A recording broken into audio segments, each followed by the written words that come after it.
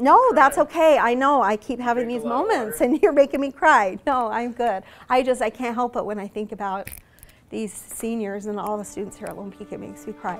So I'm having a moment right now.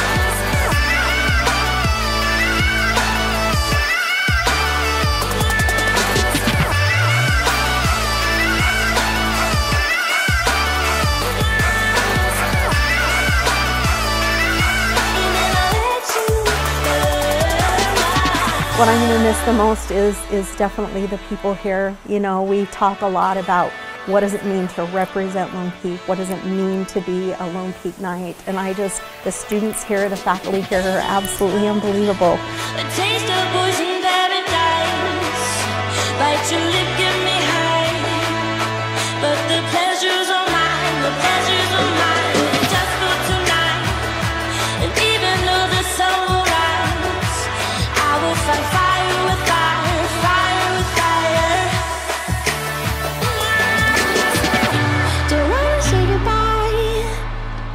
Cause I don't think